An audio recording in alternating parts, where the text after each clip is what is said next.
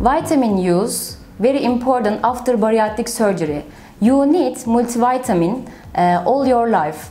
These are multivitamin, uh, vitamin D, calcium, uh, also zinc, uh, iron or vitamin B12 uh, can be recommended uh, based on your uh, surgery method.